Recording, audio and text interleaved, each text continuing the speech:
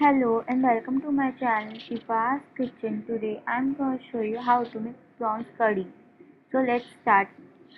For this we'll need 3 to 4 drumsticks cut into 2 inch pieces like this. Then I have half a cup of coconut, 10 to 15 garlic cloves, 2 green chilies, then I have prawns. Then I have half a cup of coconut which I'll use to make coconut milk. I have one lemon. Then I have one teaspoon of turmeric powder and one teaspoon of red chili powder and 1 tablespoon of coriander powder. Then I have 8 to 15 curry leaves 1 teaspoon of mustard seeds and 1 teaspoon of cumin seeds. Let's start.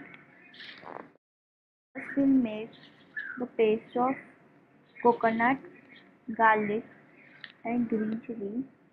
To this I'll add cumin seeds. I will process it. To the paste I'll add a dry masala and then we'll process it again.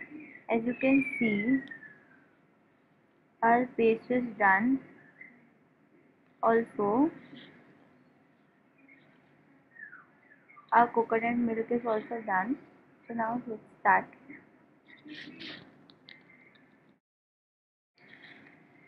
I have heated up the oil in the wok to this I'll add mustard seeds then to this I'll add curry leaves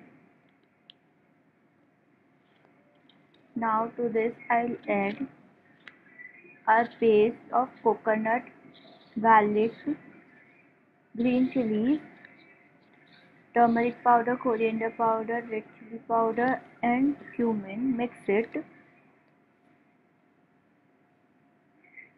Now to this I'll add a drumstick.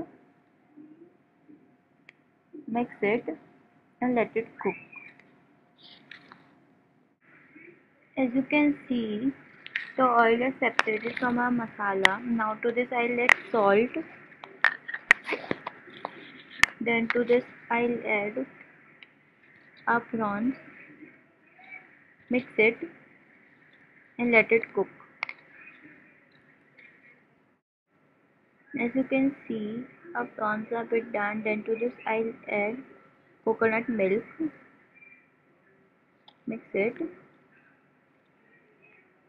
and let it cook.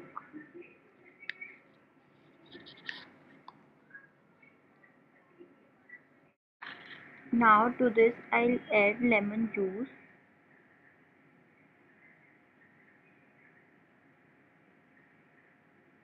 Mix it.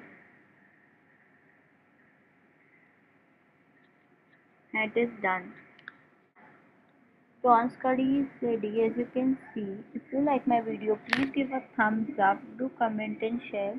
If you recreate any of my recipes don't forget to tag me on any of my social media accounts facebook and instagram. Subscribe to my channel. Hit the bell icon to get notified whenever i upload a new video.